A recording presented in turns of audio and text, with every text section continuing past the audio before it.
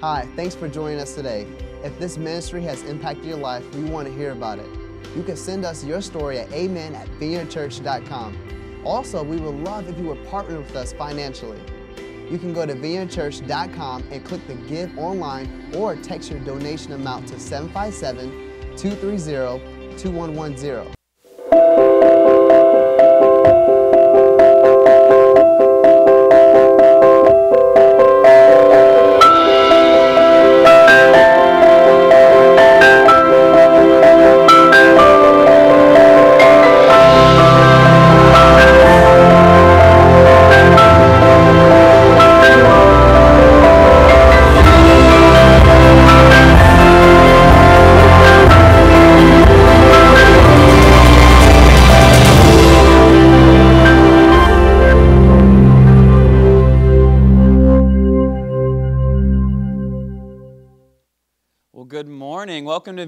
We feeling this morning? Oh, come on, we can do better than that. How we feeling this morning? That's what I'm talking about. My name is Parker. I'm one of the pastors here on staff, and we are continuing our series called Running with the Giants, part 6.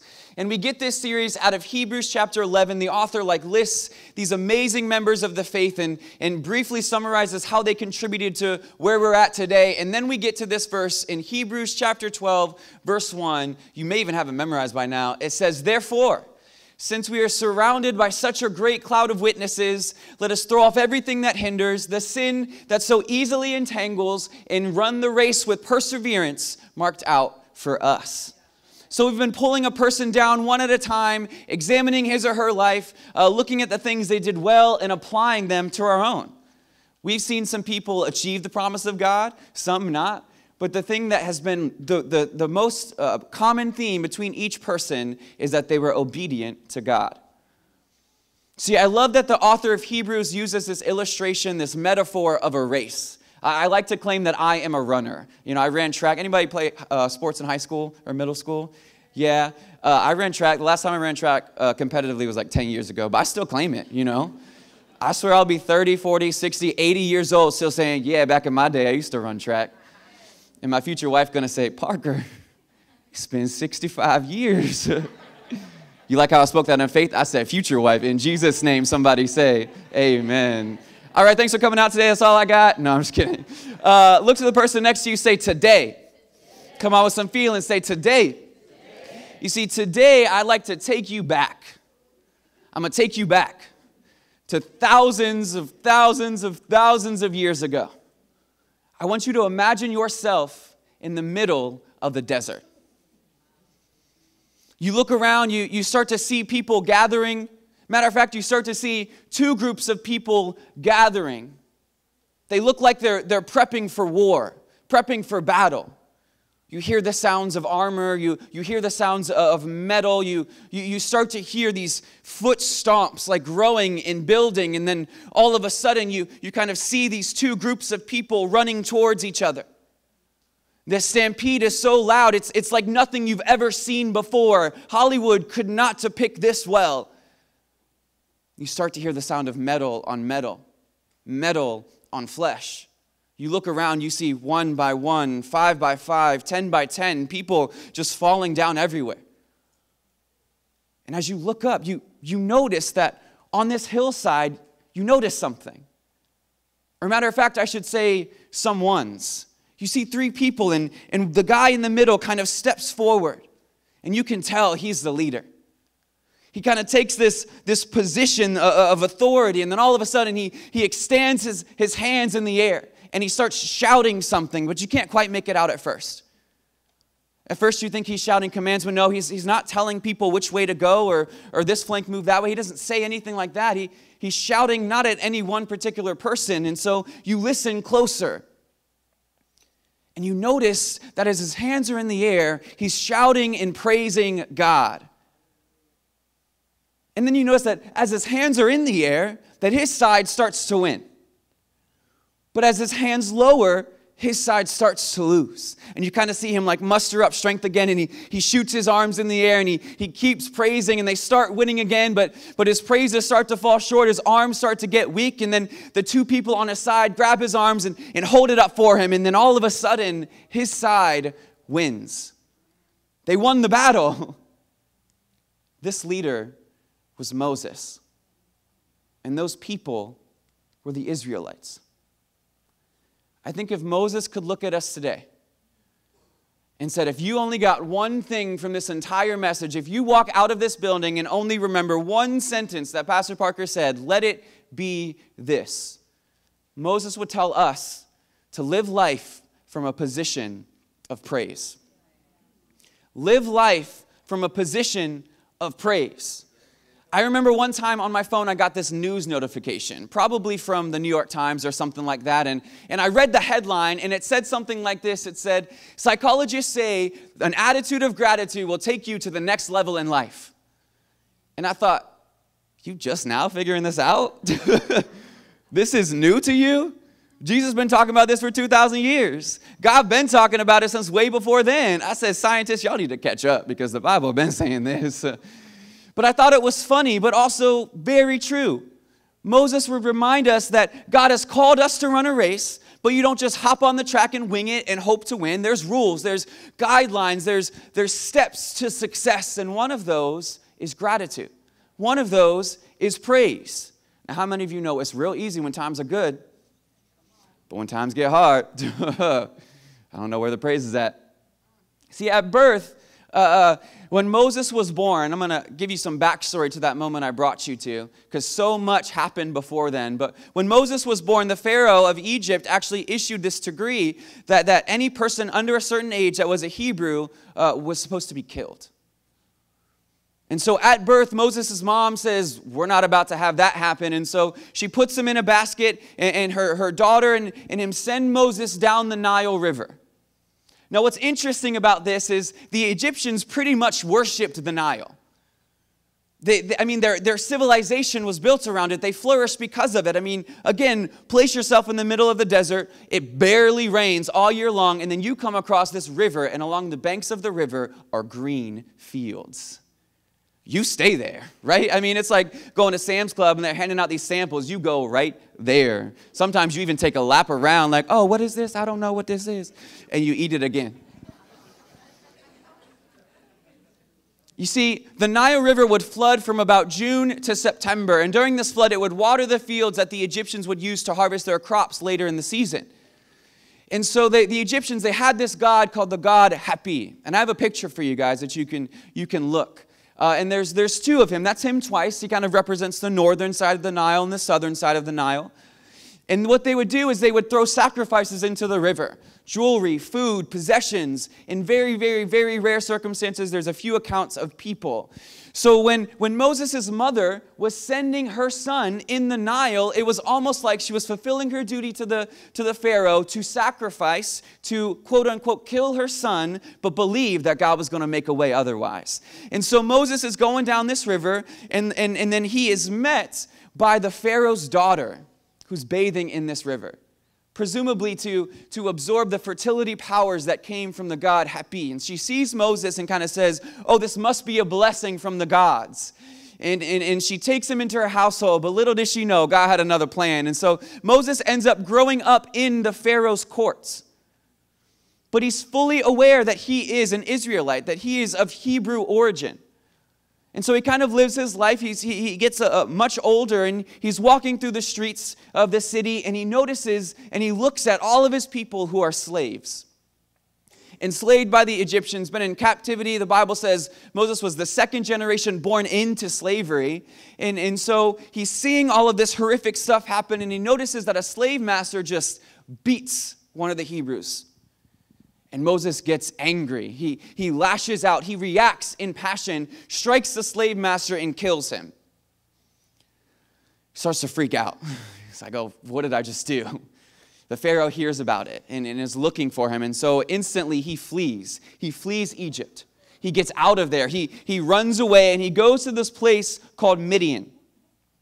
And when he gets to Midian, fearing his punishment, he just kind of stays there. He builds a new life. He, he becomes a shepherd. He gets married to his boss's daughter and, and starts to have a family and uh, continues to live his life. And then we get to a point where he's in his 30s, maybe 40s.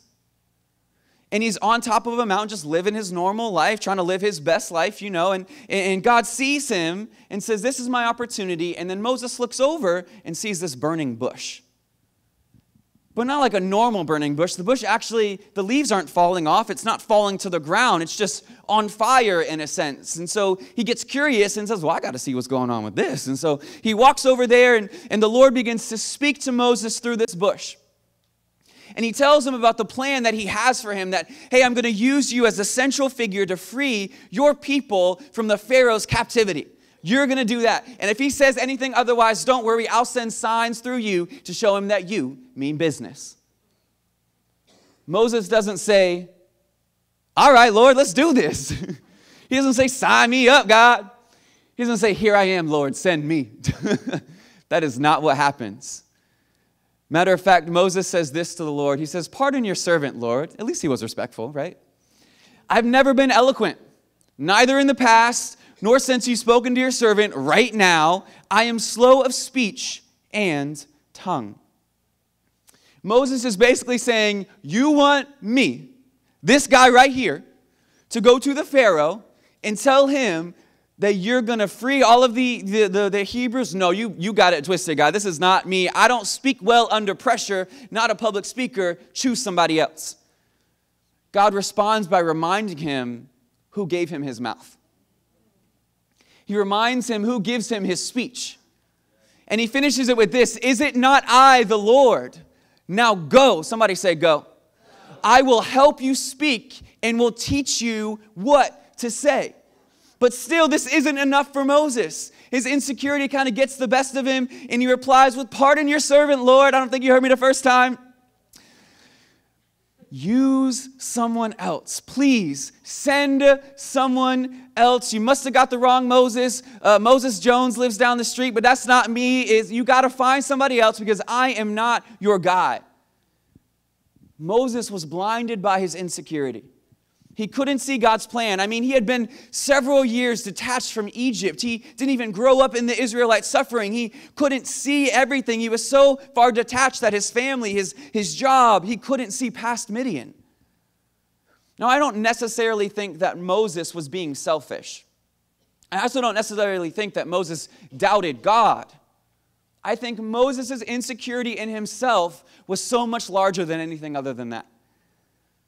God speaking to Moses caused him to doubt his position in life. God speaking to Moses made him realize that he was in the wrong place. It reminded him of the pain, the confusion, the responsibility of his actions that he never took back in Egypt, and he didn't want that. Moses heard God's plan and probably thought, why would the people of Israel follow me? Didn't grow up like them. I didn't live like them. Matter of fact, I did something wrong, and, and a leader doesn't run away. A leader takes ownership of it, and I ran away. God, why would they follow me? But God looked at him and he said, You're focusing too much on what's opposing you and not enough on the purpose that I have for you. You're focused on too much of what your opposition is and not where I'm trying to place you so that I could use you. Point number one is this get into position and stand your ground. Get into position and stand your ground. A lot of our life frustrations, I think, come because we try to reconcile this distorted view of what we think our life should be in our minds, and we try to compare that to what actually is. You see, when we realize our ideal destination isn't within our immediate grasp, we tend to bend towards the easier, quicker outcome. When an athlete runs a race, step one isn't to win. Step one is to get into position. It's to get into your lane, step up to your line, and to get ready. You see, you can be in position, but if you're in the wrong place, you won't be paying attention. The gun will signal you to run, and you'll miss it. You'll be behind. You're in the wrong lane and you're trying to run your race, you'll probably be disqualified. If you're going the wrong direction, that's just kind of sad. It's kind of like when you go to a T-ball game and you see the kid hit the ball and then he runs to the left instead of the right, and you're like, oh, that's kind of cute, but in a really sad type of way for you and your family. I can make that joke because I did that. So we get frustrated that God isn't moving in our lives, but we're not even in position yet. We haven't stepped up to the line. We're not even playing the same sport as Him, and we get mad at God. See, I believe that God is a God of miracles, that He desires nothing but the absolute best for our lives. But we live in a fallen world, and so that means that sometimes, in the most theological way I could say it is possible, life's just gonna suck. We mess up. We aren't where we're supposed to be. You get into a car accident. You open up another credit card after you told yourself you'd pay off your debt. You miss another one of your child's sports games or recitals because of work or just general exhaustion. We're allowed to acknowledge the struggle. That's okay. We're absolutely allowed to acknowledge that this life is hard. Matter of fact, Jesus told us it wouldn't be easy. But what we're not allowed to do is blame God when we're not even in position. Why? Why is this not okay? Because when we're in this position, it seems impossible. It seems like we'll never be able to stand up and it seems like we'll never be able to get in position. But I'm pretty sure that the Bible says what's impossible with man is completely possible with God because Jesus made a way for us so you can and will get into position. Romans 6 actually says it like this it says, What shall we say then? Shall we go on sinning so that grace may increase? By no means. We are those who have died to sin. How can we live in it any longer? Just as Christ was raised from the dead through the glory of the Father, we too may live a new life. Moses says he would tell us that sin does not bind you anymore. So get into position. Get into position physically, but also get into position mentally and spiritually. If you're gonna run this race, you need to get up early so that you can get ready. You need to get up early so that you can praise God and, and, and, read your Bible, or shoot, at least listen to the Bible. The Bible app is so great. It's so easy nowadays. Pastor Jacob said a couple weeks, you got to get to the devil before he gets to you. And I believe that. You've got to get ready. Moses knew that this was essential. It's hard to see your purpose if you're not in position. Moses eventually agrees with God. He heads towards Egypt. And just coincidentally, along the way, he ends up meeting with his brother Aaron, who just so happens to be an amazing public speaker. Imagine God coming through. They get to Egypt, they rally the Israelites, they agree to go before the Pharaoh, and then Moses steps up and he says his famous line God told me to tell you to let my people go. Mic drop. He steps back all excited and proud. Pharaoh says no. Pharaoh says no a lot, actually. And then this is where we get the 10 plagues. Now, if I could, just drop a couple tidbits of knowledge and wisdom your way. A lot of theologians and historians believe that the 10 plagues actually matched up with many of the uh, Egyptian gods that they worshiped.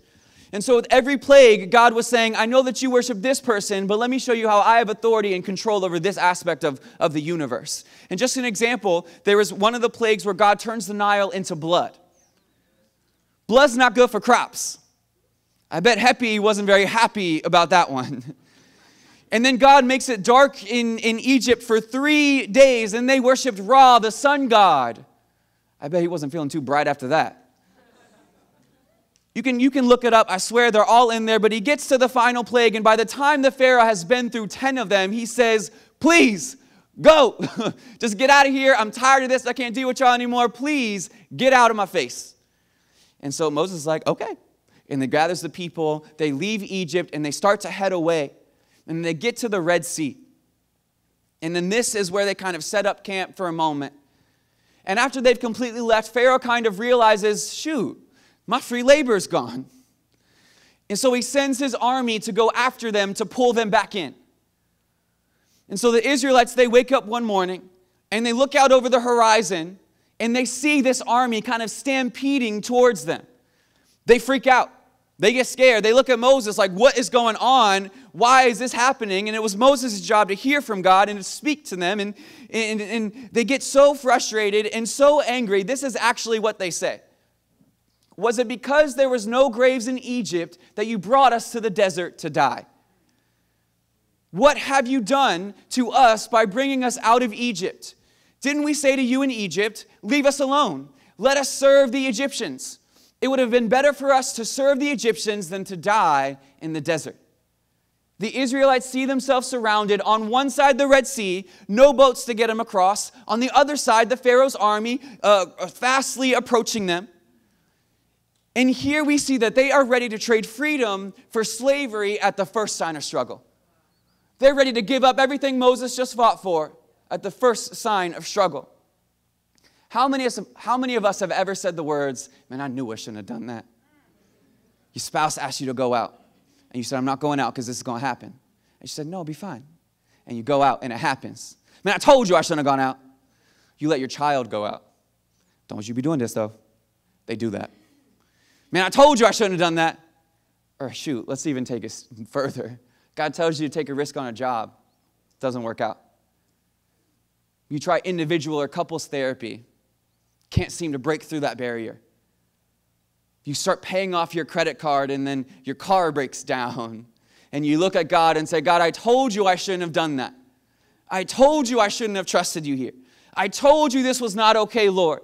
But Moses looks them, at, I think Moses would look at us in the eyes during this circumstance, and, and he would say, point number two, stand your ground even if you feel surrounded.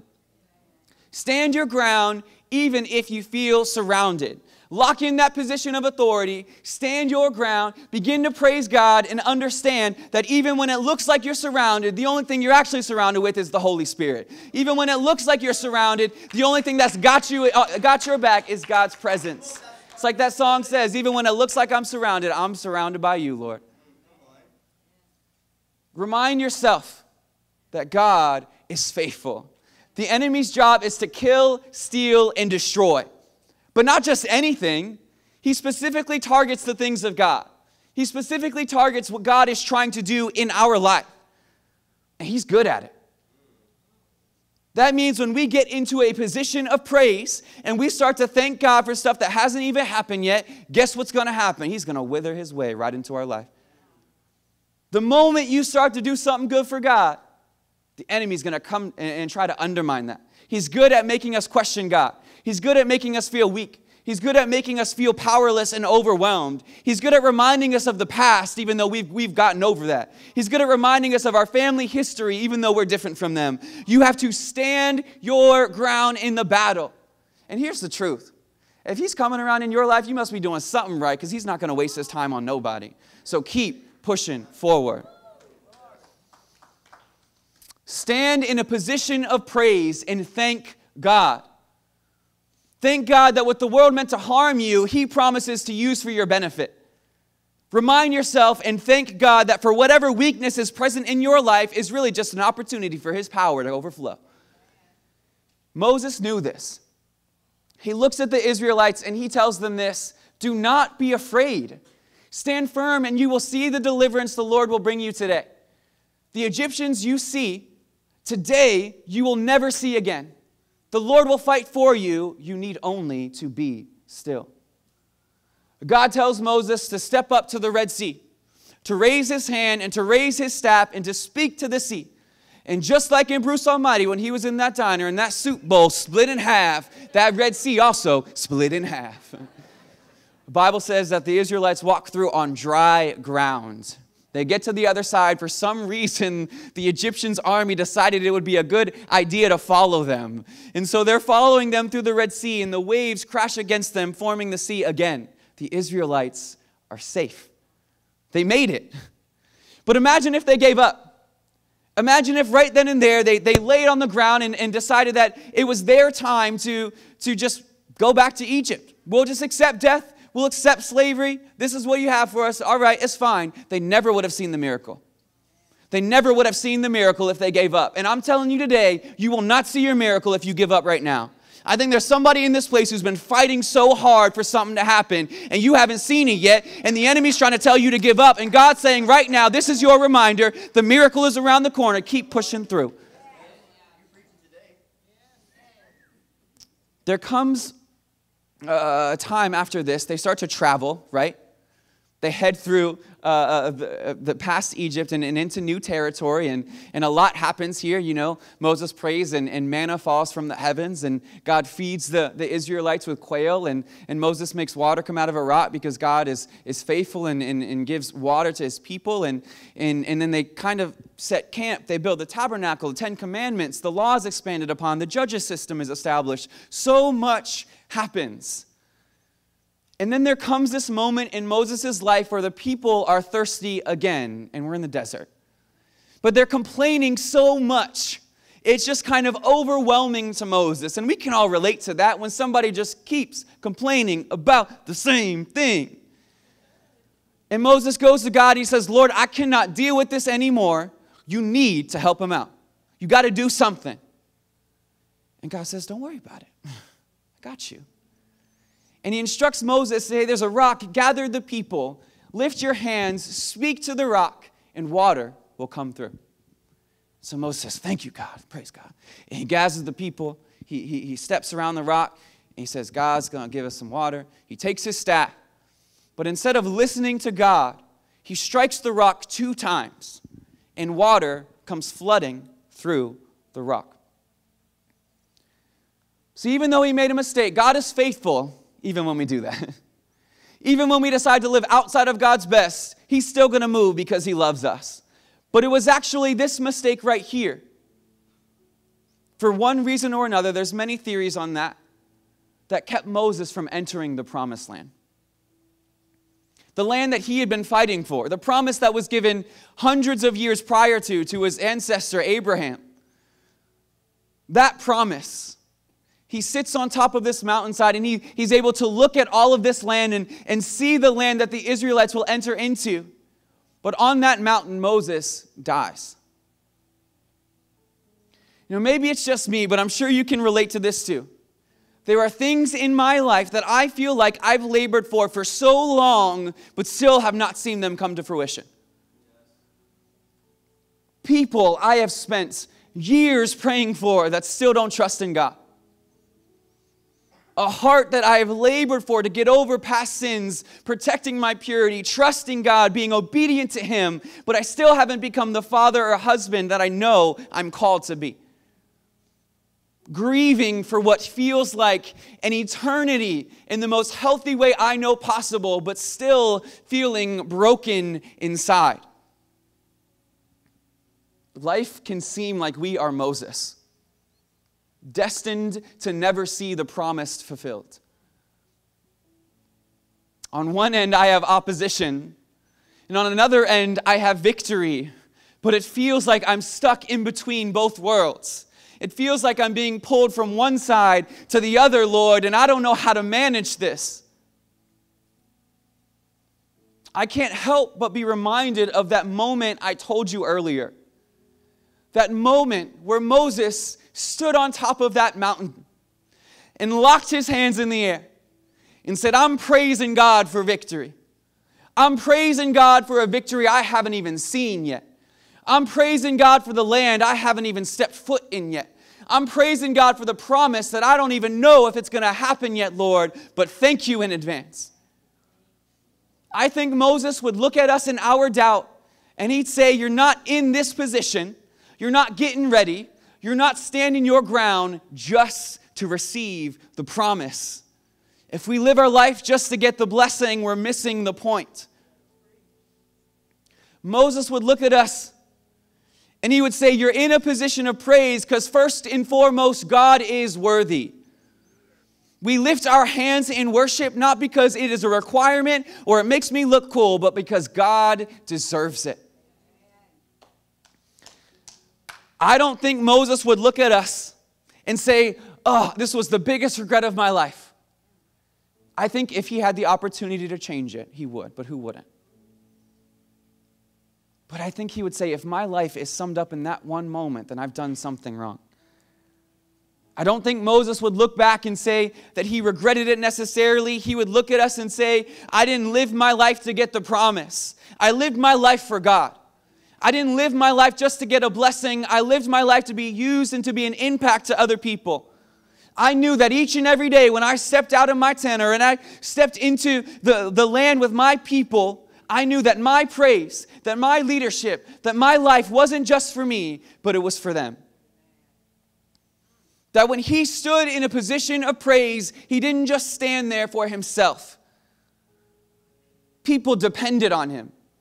People depended on his praise for God. Imagine that. Imagine your relationship with God being depended on by other people. Oh, wait. It is. It is. I think Moses would look at us, and I think the last thing that he would tell us is point number three stand your ground.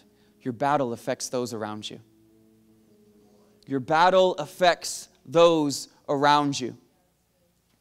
Moses knew that his praise for God impacted his people. He knew that as his hands were in the air, they sought victory. That if he gave up, it would cause his army to lose. If he gave up, his people may never see the promised land. Church, I need you to understand today that you're not just fighting for you, you're not just fighting for yourself. There's this concept that we see called generational curses.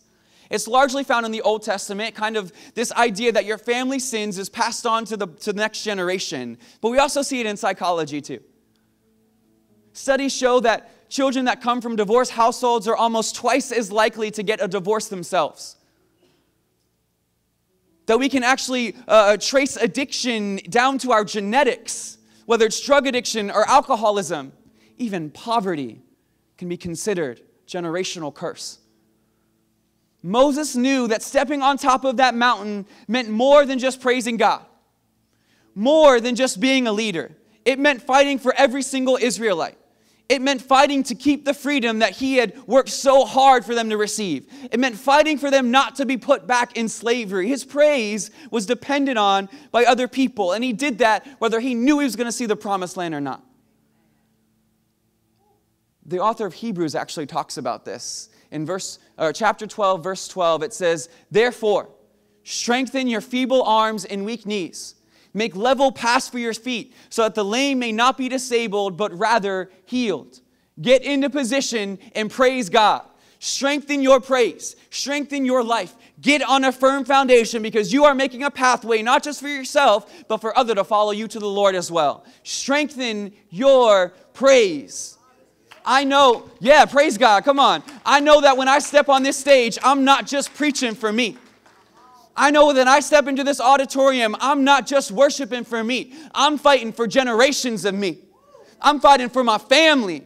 I'm fighting for my future kids, my future grandchildren, for young people. I know that my praise is dependent on by other people, so I'm not going to give up. I'm not going to quit on God.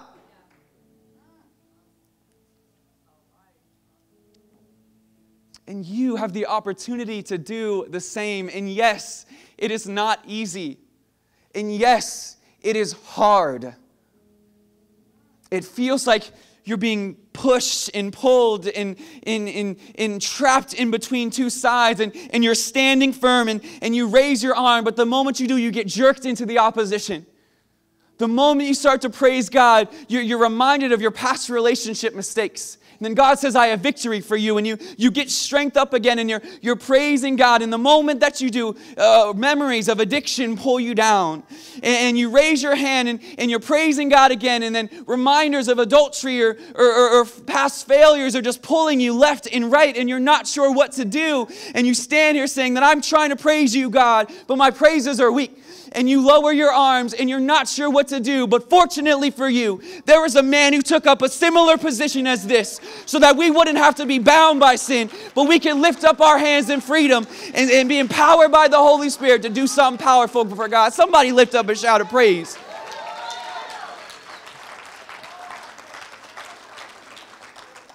That man's name was Jesus, the Son of God.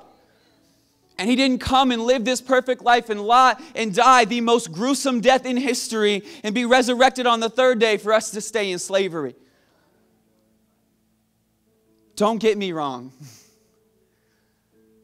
It's God's grace and favor and power and His Holy Spirit that gives our praise power. Don't get it twisted. We are not or never will be God.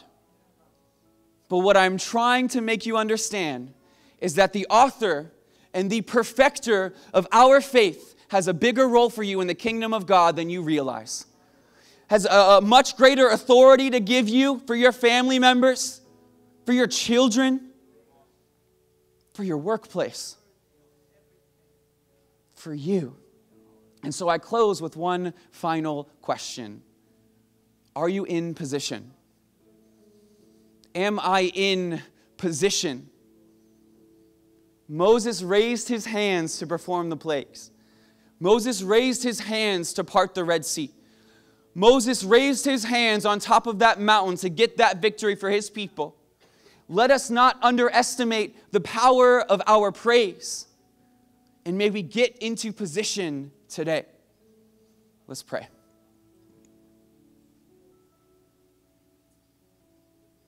Hmm. Come, Holy Spirit. Come, Holy Spirit. And that's just God's presence. Hmm. Yes, God. Yes, Lord. We start by thanking you, Father. Hmm. And somebody needed to hear that, that your Father in heaven is unlike any earthly father. He's not bound by the same rules or expectations. His fatherhood is perfect. And so, God, we thank you for that. Lord, we praise you for the victories we've yet to see. We praise you for the lives changed that we have yet to see. The seats in this auditorium that will be filled with our brothers, our sisters, our parents, our friends, Lord. We thank you for that. God, I ask that you would show us and give us the strength to stand in our position, whatever that looks like. Whether that's waking up early and reading our Bible and praying over our children every morning, God. Whether it's praying over our workplaces, Lord, that we would be a better teacher, a better uh, uh, uh, lawyer, God, doctor, mail person, Lord, whatever it is, God, that we would lift up our workplaces to you each and every morning, Lord. Maybe that's getting in a small group, Father, surrounding ourselves with people that can encourage us and sharpen us and push us closer to you. Help us get into position, Lord. And I speak right now in faith, Father, that the enemy that is surrounding us, Lord, he's trying to distract us. He makes himself look bigger than he is. He hypes up his, his authority in our lives, Father, but we thank you that he has no authority over us.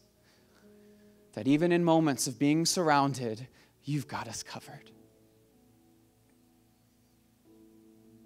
And hmm, Father, and I thank you that our battle is not our own.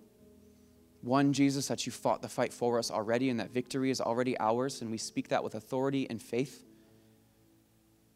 And two, Lord, that even though the fight continues, we praise you that the victory spoken over us will come to fruition.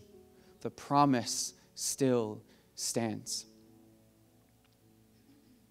Hmm.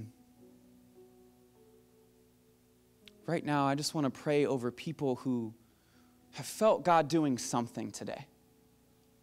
They see this God that I'm talking about. And you may have never decided to trust him, and you may really don't know much else besides what I've spoken about today, but that's okay.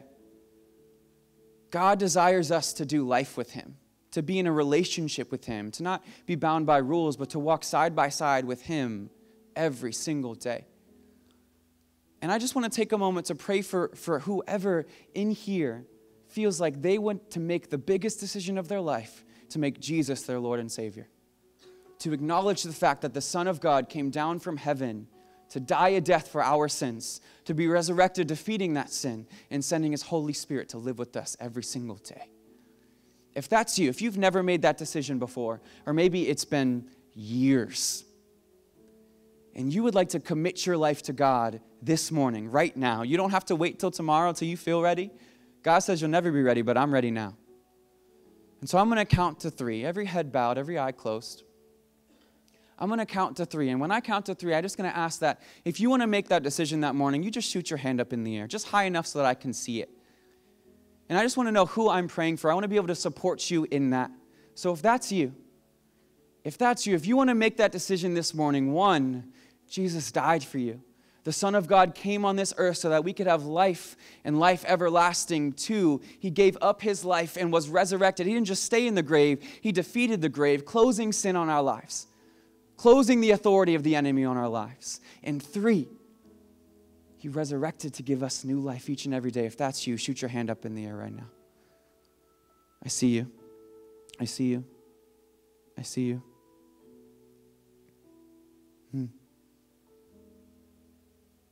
I want everyone uh, in this room to pray this prayer with me out loud. Everybody say, Jesus. Hmm. I know I've messed up. I know I make mistakes. Today I trust you. Today I follow you. Make me new. Hmm. In Jesus' mighty name, amen.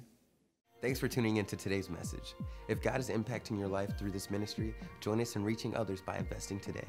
You can give by texting your donation amount to 757-230-2110 or by going to vineyardchurch.com slash give. Also, don't forget to subscribe to our channel so that you never miss an update. We'll see you next week.